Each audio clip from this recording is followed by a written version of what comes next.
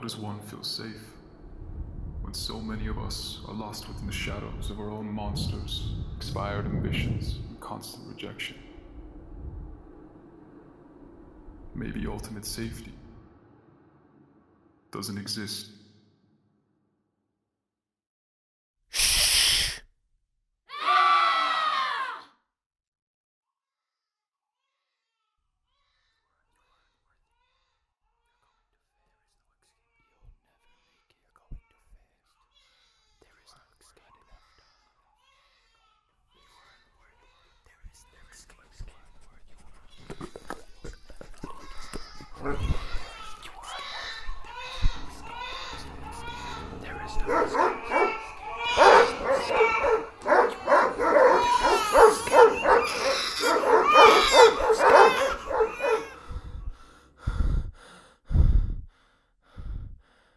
Follow my footsteps.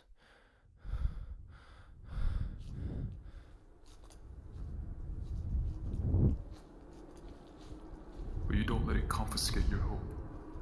You don't let it enhance your internal screams. You don't let the classic dogs judge and rip you apart. You continue. Continue to fight. You continue to create and continue to build not only for yourself, but also for the ones who surround you. Because there's no other way.